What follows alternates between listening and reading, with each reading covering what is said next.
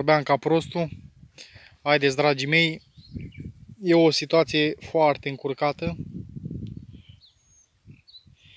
Îmi pare rău să vă spun, dar uh, cred că nu o să continui. Săparea iazului ăstuia, fiindcă e foarte tare. Dacă mă motivați în comentarii cu înșurătură sau o apreciere acolo, pentru mine contează foarte mult să dau drumul la proiect în continuare. Sunt foarte extenuat, nu, nu vă vine să credeți cât de tare a fost pământul ăsta, plus care rădăcini o groază. Ia uitați și voi, asta are 20 cm mâncava așa, uite. Zici că e morcov. Vă dați seama? Mai am un pic și rup cazmaua asta, dar abia am luat-o și eu și o rup acum. Deci vă dați seama, îmi vine să plâng. Și tot pământul ăsta îl ducem acolo, dragii mei. Lângă pomul ăla îl băgăm umplutură, fiindcă așa e planul meu. Să fac un iaz aici, foarte mare, undeva la 15 metri pe 10, ceva în genul. Și o să-i facem uh, o gaură unde o să stea peștele în ea, să se adăpostească de frig și de căldură vara. și îl extind mai mult, fiindcă vreau să fac un fel de, de bordură. O să vedeți în videoclipurile ce vor urma, dacă vor mai urma, dacă va rezista cazmaua asta, fiindcă v-am spus, bani nu mai am și nici de excavator nu cred că e o soluție bună. Deci nu aș avea vreo 20-30 de milioane să, să plătesc. Plus că ar mai trebui căra la urmă. Alți bani. Deci undeva la 1000 de euro, dragii mei.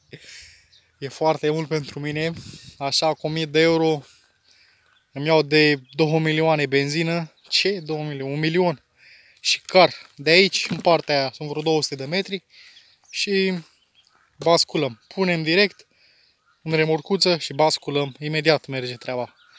Dar chestia e că asta primăvara a mers. Acum că a venit vara asta, nu mai merge. Deci s-au încurcat treburile. Așa că noi dăm drumul la treabă. Ușor, ușor. Un sfat dacă aveți. În afară de buldo. Dacă ud se înmoaie, merge. După primul strat, la următorul strat, se sapă mai bine. Ce spuneți? Deci, nu-mi vine să cred. Eu vă mulțumesc pentru orice sfat. Sperăm că ne țin și cauciucele, opincile. Hai mă că nu sunt mai opinci, au carne pe ele ca lumea. Da. Și am mai pus eu o greutate. Dacă o să rămânem, dar nu rămânem și cred că mergea și fără greutatea asta, dar în fine, o să, o să legăm troliu, dragii mei, și ieșim dar chestia e că nici nu pot să pun cu vârful ăsta să varsă. Se varsă, dragii mei, vă spun eu sigur că se varsă pământul ăsta dacă îl pui cu vârf. Deci am umplut puțin așa, după aia vreo jumătate de metru cub. După aia l-am dus, l-am basculat. Băi fraților, cam așa stă treaba.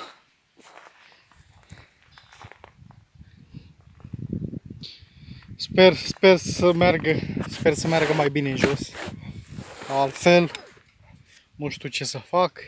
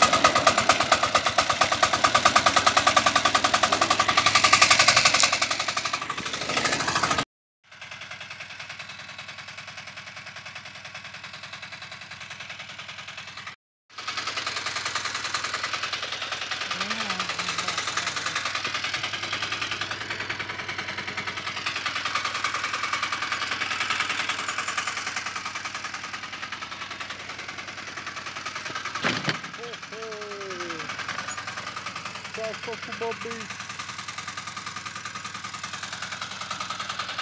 Vine Bobby!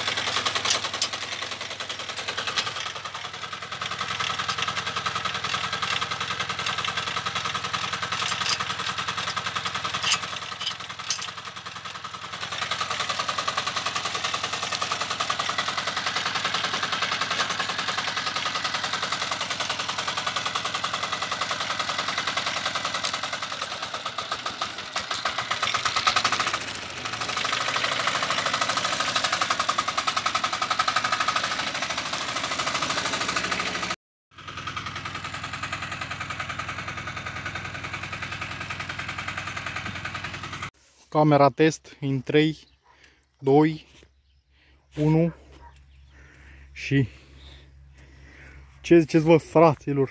Merge bine? Eu zic că merge. Dar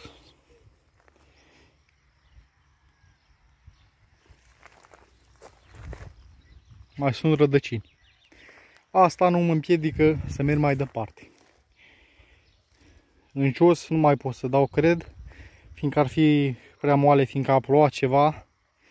Așa că, deocamdată, luăm stratul deasupra, de deasupra și îl ducem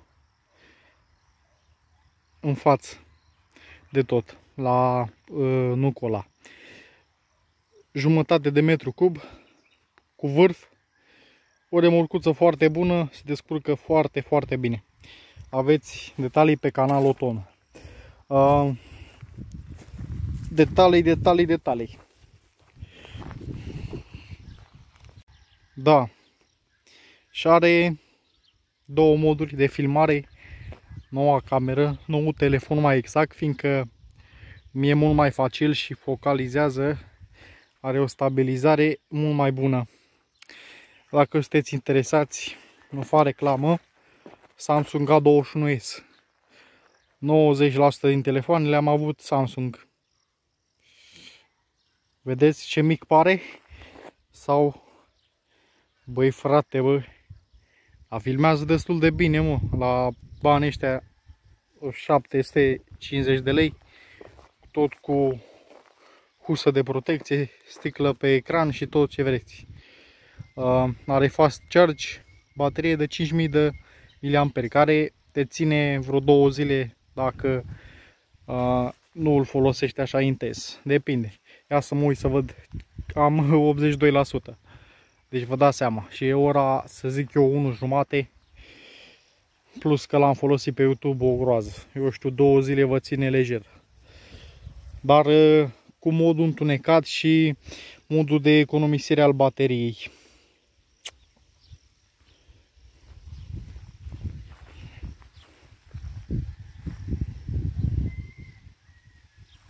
Da. Trebuie să am grijă cum îl țin.